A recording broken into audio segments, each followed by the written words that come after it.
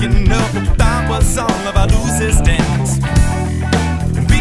you can be but I promise to work.